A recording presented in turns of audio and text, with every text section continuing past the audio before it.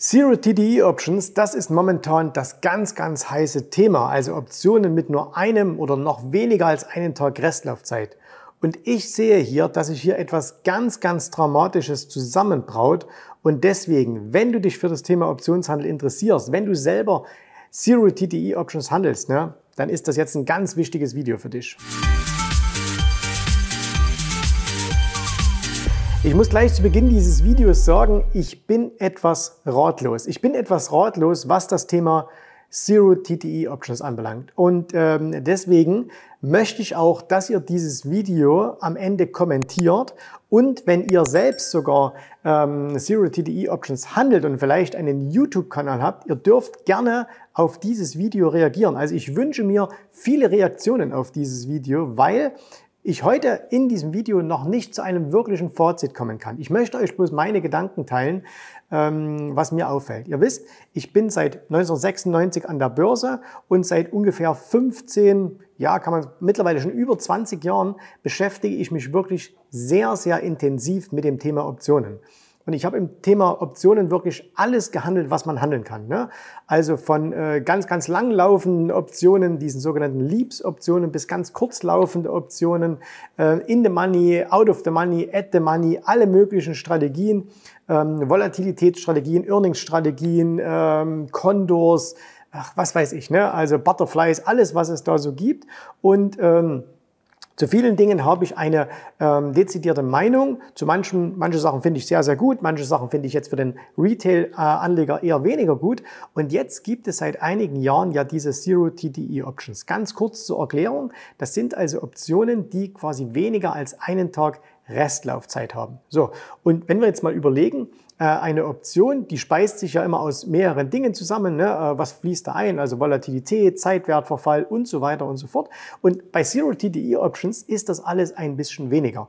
Und ähm, als wir letzte Woche oder vor, vor zwei Wochen auf den äh, deutschen Optionstagen waren, habe ich mich mit sehr vielen äh, Teilnehmern unterhalten, sowohl von den Speakern, aber auch von Besuchern, die genau diese Zero TDE Options handeln. YouTube ist voll damit, mit äh, Strategien oder mit äh, Ideen über diese Zero TDE Options.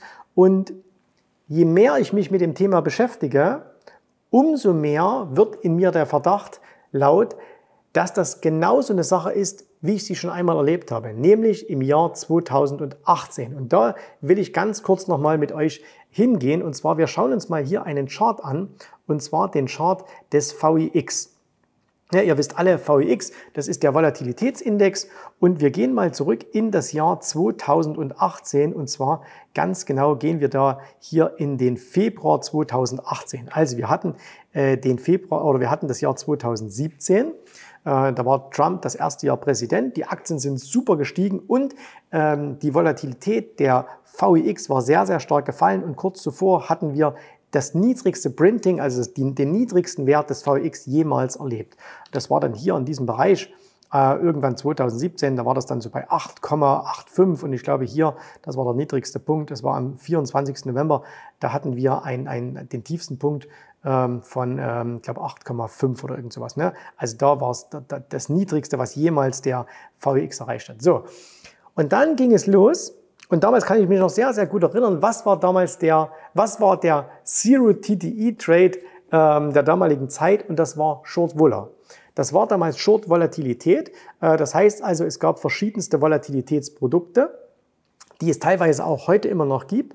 Und äh, damals war YouTube voll mit Short-Vola-Strategien und äh, ganz viele haben gesagt, hey, ich mache jetzt Short-Vola. Und das Gleiche war, dass man gesagt hat, hey, die Volatilität oder besonders diese Vola-Produkte, die sind dazu, oder mit denen, äh, die sind eigentlich aufgrund ihrer Konstruktion dazu verdammt, ähm, dass sie permanent immer fallen müssen. Ne? Das heißt also, du gehst entweder so ein, so ein Long-Vola-Produkt einfach permanent short oder es gab dann sogar welche, die das gespiegelt haben. Also die konntest du einfach kaufen und die haben dann eben immer diese, die haben immer quasi Volatilität verkauft über den Verkauf von äh, Volatilitätsfutures. So, und du konntest damals, gerade im Jahr 2017, riesige Gewinne damit machen. 30, 40 Prozent. Und das ging schon mehrere Jahre. Und es gab Leute, die haben wirklich unglaublich viel Geld verdient damit, ähm, weil sie eben gesagt haben, hey, ich bin einfach Short Vola. Und nachdem das ein bisschen lief, haben sie dann immer größere Positionen gemacht, haben das Ganze dann noch gehebelt.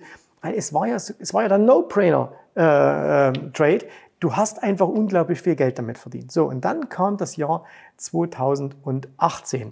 Und besonders hier dieser Tag war das dann, nämlich das war der Montag, der 5.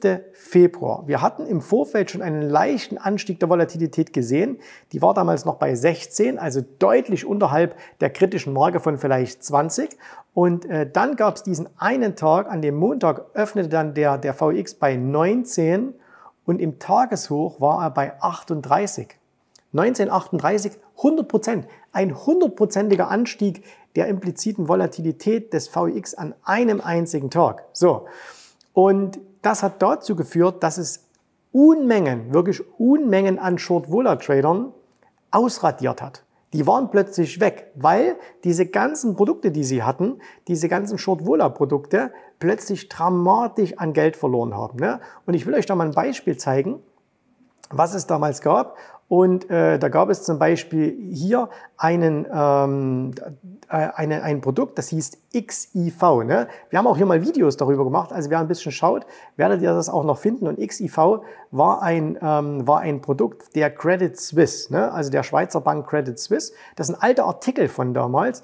Und das Witzige war, auf dem, auf dem ähm, Produkt äh, vom XIV, also auf dem, auf dem Factsheet, was natürlich nie einer gelesen hat, war eine Achterbahn drauf. Ne? Also wirklich äh, total verrückt so. Und dieser XIV, und ihr seht das hier ein bisschen in dem Chart, der ist damals ähm, eingebrochen und zwar um 95 Prozent an einem einzigen Tag. Das heißt, der ist an einem Tag 95 Prozent eingebrochen, alle, die long waren, und das ist nachbörslich passiert. Ne? Das ist nicht während des Handels passiert, das ist nachbörslich passiert. Du hattest keine Chance, da rauszugehen. Und es lag einfach daran, weil nachbörslich eben die Vola-Händler mit den Futures was machen mussten. Es wurden ganz viele Vola-Futures dann gekauft und äh, dann ging das nach oben und so weiter. Na, also jedenfalls beschäftigt euch mal damit. Fakt war, dieser XIV war pleite.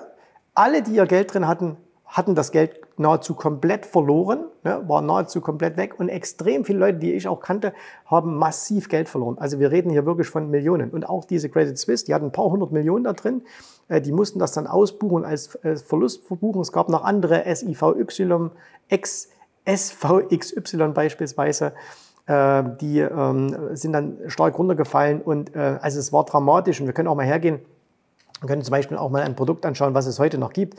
Das ist der VXX und auch wenn wir da mal hier zu dieser, äh, zu dieser Zeit äh, zurückgehen, dann sehen wir, das ist ja auch ein Produkt, was dann immer geschortet wurde, ja, was wir auch heute noch machen, äh, aber eben immer nur zur richtigen Zeit. Und der ist damals, hat sich auch mehr als verdoppelt, ja, innerhalb von, von zwei, drei Tagen. So. Und da kannst du dir natürlich vorstellen, wenn du das Ding short bist, verdoppelt sich innerhalb von ein, zwei Tagen, ähm, dann äh, ist da ein großes äh, Problem drin. So, okay, das ist damals gewesen. Und jetzt kommen wir zur heutigen Zeit. Und jetzt habe ich mir überlegt, hey, wenn mir so viele Leute, vor allen Dingen Retail-Händler erzählen, also Retail heißt Privathändler, okay? Hey, Zero TTE Options, mega easy. Ich mache da Spreads, da kann überhaupt nichts passieren und ich mache da 30, 40 Prozent im Jahr. Ne? Dann leuchtet bei mir hier oben eine ganz, ganz rote Warnlampe. Und auf der anderen Seite kann ich es nicht so richtig greifen. Und da möchte ich jetzt gerne mal eure Ideen dazu haben und wie gesagt auch gerne Reactions auf dieses Video. Ähm, meine Überlegung dazu. Was ist das eigentliche Problem bei Zero TDE Options? Normalerweise hast du mit Optionen immer ein Problem in der Volatilität. Ne?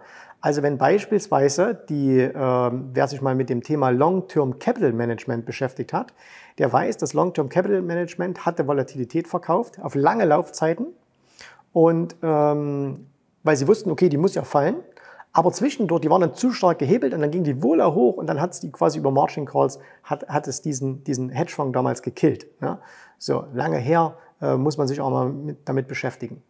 Das Problem haben wir bei Zero TDE Options nicht, weil ist ja am nächsten Tag vorbei, die laufen ja aus. So. Das einzige Problem, was wir haben, und das ist das Gamma-Risiko. Gamma nimmt zum Ende dramatisch zu und äh, je kürzer die Restlaufzeit ist, umso höher ist das Gamma-Risiko. Hm. Ich sehe aber noch ein ganz anderes Problem und das will ich euch auch an einem Chart zeigen. Und zwar äh, gehen wir da mal in, in einen ganz anderen Markt rein. Ich zeige euch eine Aktie und zwar, äh, wir schauen uns mal hier einen etwas längeren Chart an. Und zwar ist das GameStop. Und GameStop könnt ihr euch bestimmt noch erinnern, ähm, war einer dieser, dieser Meme-Aktien. Ähm, wahnsinnig äh, toller Film auch, der momentan äh, in den Kinos gekommen ist. Dump Money unbedingt mal anschauen. Und ähm, was war das damalige ähm, Problem bei, bei GameStop? Nicht für die, die long waren, ne? sondern das Problem war, und da kommen wir jetzt zu so einer Sache, die mich auch bei den Zero TDE Options so ein bisschen beschäftigt, nämlich, warum ist diese Aktie damals so dramatisch hochgegangen? Die Leute haben damals nicht nur die Aktie gekauft, sondern die Leute haben auch Optionen gekauft. Die haben wenig Geld gehabt, äh, Corona, alle saßen zu Hause, du hattest äh, Robinhood App und dann haben die Leute gesagt, hey, ich kaufe Call-Optionen. So, und dann haben die Leute Call-Optionen gekauft. Und wer handelt, und jetzt kommt der entscheidende Punkt, wer handelt mit dir diese Call-Optionen? Das waren keine, das war vielleicht ein Hedgefonds, okay, aber das waren hauptsächlich Market Maker. Das heißt, du sagst, hier, die Aktie kostet irgendwie äh, 3 Dollar und du sagst, ich kaufe eine 10 Dollar Call-Option. Ja, diese 10 Dollar Call-Option, die gibt dir ja das Recht, die Aktie bei 10 Dollar zu kaufen. Und derjenige, der sie äh, verkauft, der muss bei 10 Dollar liefern. Wenn aber diese Aktie bei 3 Dollar ist, gibt es keinen, der sagt, okay, ich liefere sie dir für 10 Dollar. Das ist viel zu weit weg. Also macht man, das sind auch nur Centbeträge. Also macht das nur ein Market Maker, okay? Und dieser Market Maker verkauft dir quasi diese Option. Ähm, er ist dann diesen Call Short, du bist in Long. Und jetzt ist der Market Maker aber kein Zocker, sondern er muss sich hedgen. Und wie hat er das gemacht? Er hat das über das sogenannte Delta Hedging gemacht. Das heißt, das Delta war am Anfang vielleicht ganz gering. Du hast irgendwie, keine Ahnung, einen Fünfer Delta gekauft. Also hat er einfach für jeden Call, den er verkauft hat, fünf GameStop-Aktien gekauft. Okay? Und als dann das Delta immer höher wurde, ne, weil die Aktien immer weiter gestiegen ist, dann hat er immer mehr Aktien gekauft. Weil er immer mehr Aktien gekauft hat, hat sich das Ganze immer weiter nach oben entwickelt.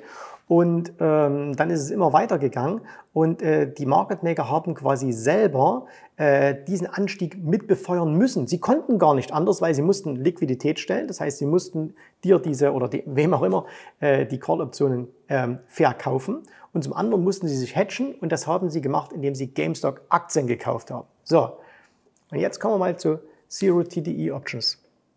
Wie hatcht sich eigentlich ein Market Maker bei Zero TDE Options. Ne? Wie macht er das? Und ich weiß es nicht. Ich habe keine Ahnung. Und jeden, den ich frage, der wirklich Ahnung hat von Optionen, sagt mir, ich weiß auch nicht. Ich weiß, die Jungs müssen irgendwie was machen, weil, und da kann ich dir mal eine Grafik zeigen, hier, ähm, Zero TDE Options sind mittlerweile für 50 Prozent des kompletten Optionshandels im S&P 500 verantwortlich. Das heißt also, 50% aller Optionen, die umgehen im S&P, sind Zero TDE Options. Das ist ein riesiger Markt. Und da sind Market Maker riesig drin involviert. Sie müssen darin involviert sein oder sie wollen darin involviert sein. So. Und ähm, es gibt viele, was, was wenn, man, wenn man sich Daten anschaut, dann sieht man, es gibt zwei hauptsächliche Gruppen, die in diesen Zero TDE Options traden. Das sind einmal ähm, High-Frequency-Trader, also automatisierte Trader. Ja? Äh, und zum anderen sind es Privathändler. So. Klassische Hedgefonds und so eher nicht dabei. High-Frequency-Trader, private Trader. Und jetzt müssen die das Ganze machen. Jetzt müssen die das Ganze nach oben schieben, äh, müssen die sich die Market Maker irgendwie hatchen. Wie machen die das? Wenn du aber einen Market Maker hast, der nicht gehatcht ist, dann kriegt der irgendwann mal Probleme. Und wenn der irgendwann mal Probleme kriegt, weil irgendwas passiert, wie zum Beispiel damals mit dem VEX, dann kann irgendwas platzen, was heute noch keiner auf dem Schirm hat. Und ich möchte wissen, was platzen kann. Und vielleicht hast du eine Antwort darauf. Ähm, das Ding ist, dass ähm, ich mittlerweile aus ganz, ganz sicherer Quelle von Brokern weiß, dass es schon einige Kunden dramatisch zerlegt hat. Und zwar auf eine Art und Weise, die wir uns nicht so richtig erklären können. Selbst der Broker konnte sie sich nicht so richtig erklären, weil Du musst dir mal anschauen, wann ist normalerweise der Handel vorbei? 22.15 Uhr. Jetzt gibt es einen nachbörslichen Handel, der geht eigentlich bis 22.30 Uhr. Viele Optionen können aber später noch angefordert werden. Ne? Und ich weiß zum Beispiel von einem Fall, da hatte ein, ein privater Kunde, der hatte mehrere tausend Bull-Put-Spreads geschrieben mit Zero-TDE-Options auf den Nasdaq. Also Bull-Put-Spread, du verkaufst einen Put und damit du kein unbegrenztes Risiko hast, kaufst du einen Put hier unten drunter. Okay? So, das heißt, dein Risiko ist eigentlich auf diese Spanne begrenzt. Und jetzt ist Folgendes passiert, nämlich, dass, der, dass derjenige, der den Put gekauft hatte, ne, du bist den Short, der ist den Long, der hat nachbörslich gesagt, weißt du was, ich nehme mein Recht in Anspruch und hat jetzt den Qs, also die Qs, das war auf den QQQ, das ist ein ETF auf Nasdaq, der hat die jetzt alle reingegeben in den Markt. Ne, und hat gesagt, ich nehme mein Recht in Anspruch, ich verkaufe jetzt diese Qs. Und dieser Optionsschreiber, der den Bullput-Spread hatte, bei dem war es jetzt so, der hat jetzt also zu dem, zu, zu dem hier alle seine Puts reingebucht, äh, sorry, alle, alle Qs reingebucht bekommen, Tausende und Abertausende Stück. Und wäre ja eigentlich fein raus gewesen, weil er hier die Longputs hatte. Aber diese Longputs wurden nicht ausgeführt. Warum auch immer. Und plötzlich, ne, der Q war plötzlich unten und so und der Kunde war pleite. Der hat ein, also ein Beispiel, was ich kenne, was ich auch, wo ich auch weiß, dass es 100% stimmt. Da hat jemand über Nacht von, von, einer, von drei, ich glaube 400.000 Dollar plus auf 1,4 Millionen Minus gegangen im Konto. So. Und das ist eine dramatische Sache. Ein Einzelfall immer noch. Aber man hört jetzt mal, ah, da ist passiert, da ist passiert, da ist passiert. Aber irgendwann gibt es den Knall. Bin ich 100% überzeugt. Ich weiß bloß noch nicht, wie es diesen Knall gibt. Und ähm, wenn jemand sagt, nee, da gibt es keinen Knall, weil es ist ja alles, dann bitte ich dich darum, dass du mir das erklärst, warum es keinen Knall geben kann.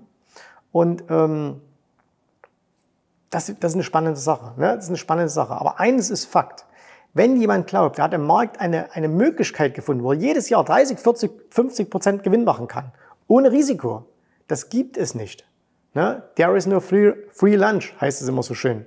Und ähm, deswegen, es muss irgendetwas passieren mit diesen Zero TDE Options und es wird was Großes passieren. Ich weiß bloß noch nicht was. Und deswegen meine Bitte an euch, die ihr da zuschaut, und ich weiß, es schauen ja auch viele zu, äh, die selber ähm, das als Angebot habt. Ne? Ihr macht Managed Accounts damit oder äh, ihr, ihr bietet es euren Kunden an oder ihr macht Lehrgänge darüber und so weiter und so fort. Bitte macht eine Reaction auf dieses Video. Bitte erklärt, warum ich vielleicht komplett falsch liege. Also ich will wirklich nicht der Klugscheißer sein, sondern ich will es wirklich verstehen. Ähm, ich verstehe es nicht, warum es zusammenbrechen wird. Ich bin bloß felsenfest überzeugt, dass es mal irgendwann groß krachen wird. Und ich hätte gern von dir gewusst, warum. Warum ich falsch liege. Also bitte, äh, es ist nicht die Aufforderung, äh, bestätige mich, sondern bestätige mir bitte, dass ich falsch liege. Und warum das so ist. Ne? Und was ich da vielleicht übersehen habe. Vielleicht habe ich irgendwie was ähm, vielleicht checke ich irgendwie was nicht. Und deswegen äh, spannendes Thema. Deswegen werden wir hier Zero TDE Options ähm, auf diesem Kanal noch ein bisschen weiter ausrollen. Äh, ich recherchiere da wirklich jetzt äh, jeden Tag, gucke mir ganz, ganz viel an ähm, und ähm, sehe viele positive Sachen, sehr viele negative Sachen und versuche mir da gerade ein eigenes Bild draus zu machen.